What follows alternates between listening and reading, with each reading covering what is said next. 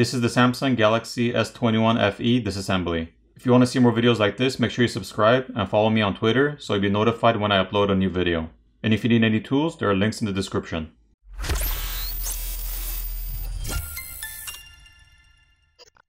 First, the SIM tray needs to be removed. Next, we need to apply heat to the back plate using a hairdryer or a heat gun to loosen up the adhesive underneath, and then we're going to use a plastic pry tool to pry the back plate off. Here's a better look at the plastic backplate. The glass camera lens covers can be removed by applying heat and gently prying them off. Here's a look at the other side. There are 17 Phillips screws that need to be removed. Next, the graphite film and wireless charging coil needs to be peeled off from the bottom speaker assembly. And the top plastic cover can be lifted up. But be careful since the cable for the wireless charging coil is still connected. The cable needs to be disconnected from the main board. And then it can be removed. The wireless charging coil is in the center. And the graphite film helps transfer heat. Here's a look at the back, and there's a layer of graphite on the back of the plastic cover. The earpiece speaker is also located on top. Now that we have access to the battery cable, we're going to disconnect that first. Once that's disconnected, we can proceed to disconnect the rest of the cables.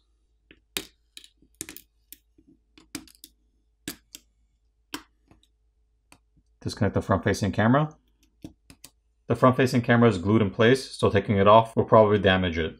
There are two millimeter wave 5G antennas, one is located on the top corner, and the other one is located on the side over here. Some variants of this phone might not come with the millimeter wave 5G antennas, but that does not mean the phone does not have 5G. These millimeter wave antennas are just used for networks that use the 5G millimeter wave technology. There's a single Phillips screw holding on the main board that needs to be removed. Now we can lift up and remove the main board.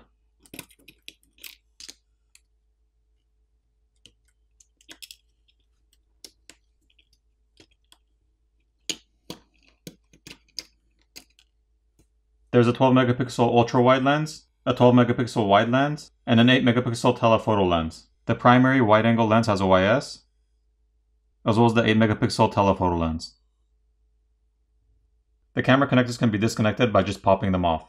The LED flash is located here, and there's a secondary microphone on the top. The proximity sensor is located on the back, and there's a graphite pad over the back shields. Once the graphite pad is peeled off, we can see thermal paste on top of the RAM and processor and this variant of the phone has a Snapdragon 888 processor. Now the speaker assembly can be removed.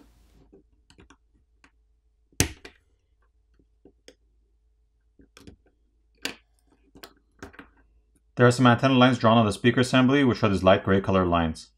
The speaker also has those white small foam balls underneath the black tape.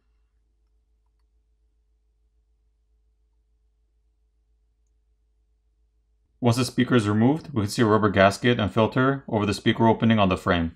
We can also see the flex cable which connects the screen to the main board, which can also be disconnected from the screen itself, as well as the flex cable which connects the main board to the subboard, and there's another one right there, and the fingerprint reader cable located here.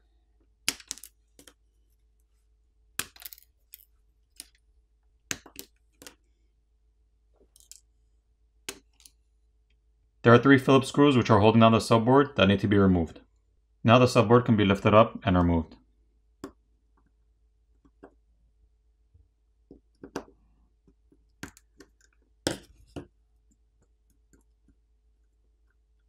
There's a rubber gasket around the charger port, the primary microphone is located here, and the SIM reader is located on the backside. There's a rubber gasket and filter over the microphone opening. The fingerprint reader is held down with adhesive, so if you needed to replace that, you'd have to gently apply heat and pry it off. In order to remove the battery, there are no pull tabs to help pry the battery off, so we're going to have to use some isopropyl alcohol and get some around the edges of the battery and let it sit there for about 30 seconds to a minute so it eats away at the adhesive underneath, making it easier to pry the battery off.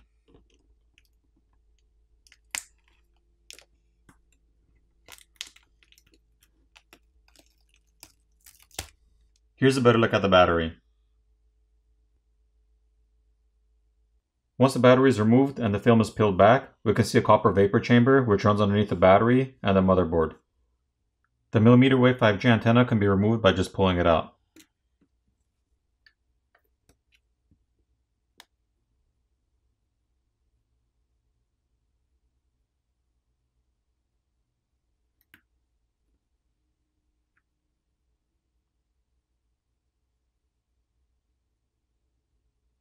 There's a metal bracket holding the power button and volume keys in place, and that can be removed by just pulling it out.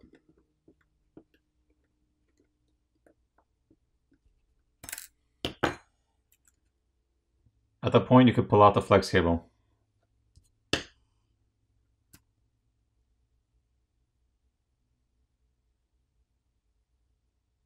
If you needed to replace the actual physical keys, you would have to push out on the keys from the inside.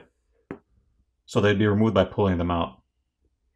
And finally, the vibrator motor is located here on the side and it's held down with adhesive. If you needed to replace the screen, you would have to remove the back plate, the screws on the bottom speaker assembly, and remove the speaker assembly. At that point, you'd have access to the screen cable, you would disconnect that, heat up the front of the phone where the screen is to loosen up the adhesive underneath, pry old screen off, apply new adhesive, reapply your screen, and reassemble the phone. For the repairability score, I give this phone a 7.5 out of 10. Now it's time to put the phone back together.